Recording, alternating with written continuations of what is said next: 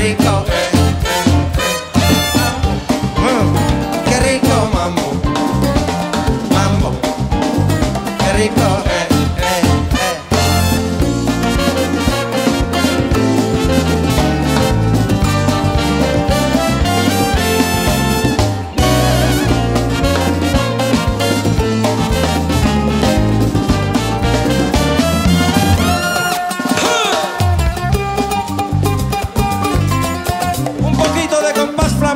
Este mambo. Raúl Rodríguez con su compás.